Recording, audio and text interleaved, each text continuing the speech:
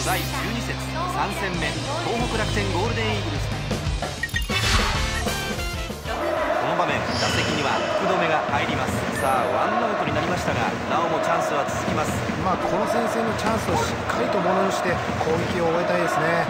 なるほど。そうですよね。2球目打ちました。高く上がった。スタンドには届きません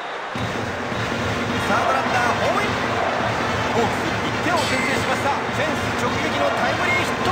1対0ホークス試合の主導権を握ります。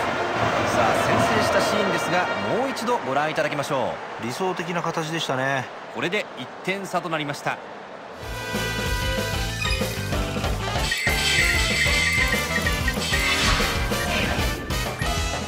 バッターボックス甲斐前の打席ではフォアボールを選んでいますまずは先頭バッターを打ち取っています。出ましたファウルボー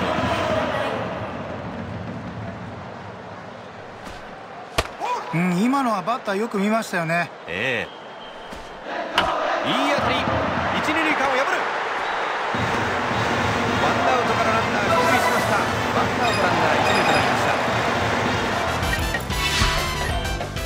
た。打順は5番秋山さあ終盤でこの点差ですがまだまだ攻撃の手を緩めません。初球は何から入ってくるか。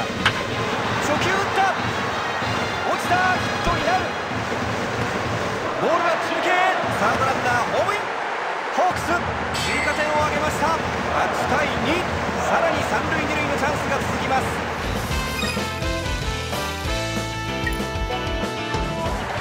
試合を制したのはソフトバンクホークスです。